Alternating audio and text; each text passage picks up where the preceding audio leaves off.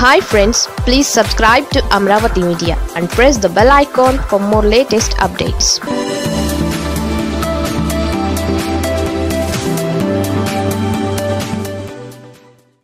Pawan కళ్యాణ్కు పంచాయతీ పరేషాన్ ఏపీలో పంచాయతీ ఎన్నికల నగారా మోగింది. నో చెప్పిన అధికార వైసీపీ కూడా ఎన్నికలకు సై అన్నది. ప్రతిపక్ష టీడీపీ సైతం ఆ పనిలో పడింది. సహజంగానే అధికారంలో ఉండడంతో వైసీపీకి కాస్త ఆధిక్యత పంచాయతీ ఎన్నికల్లో ఉంటుంది.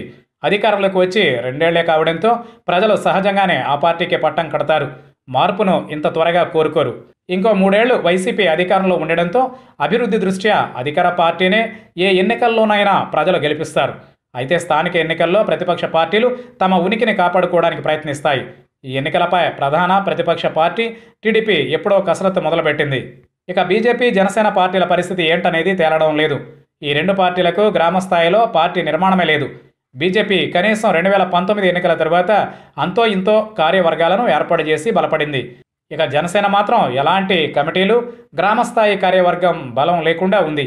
దీంతో జనసేన పార్టీలో ఇప్పుడు పంచాయతీ ఎన్నికల విషయానికి వచ్చేసరికి అయోమయం నెలకొంది. జనసేనాని పవన్ కళ్యాణ్ రెండు వేల పద్నాలుగులో పార్టీ ప్రారంభించిన పొత్తులతోనే సంసారం వెళ్ళదీస్తూ పార్టీ బలోపేతం కోసం క్షేత్రస్థాయి నుంచి విస్తరించేందుకు ఏమాత్రం ఆసక్తి చూపించడం లేదన్న ఆవేదన ఆ పార్టీ నేతల్లో ఉంది. కనీసం రెండు వేల పంతొమ్మిదిలో ఓటమి తర్వాత కూడా పవన్ మారలేదు. అదే సమయంలో సోము వీర్రాజు అధ్యక్షుడయ్యాక బీజేపీ ఆ దిశగా అంతో ఇంతో ప్రయత్నాలు చేసింది. పంచాయతీ ఎన్నికల విషయంలో ఇప్పటికీ జనసేన కేడర్ గందరగోళంలో ఉంది. పైగా బీజేపీతో పొత్తుపై క్లారిటీ లేదు. ఈసారి సీట్ల పంపకం పెద్ద టాస్క్గా జనసేనకు మారింది. రెండేళ్ళలో పెద్దగా పార్టీని పవన్ విస్తరించింది లేదు.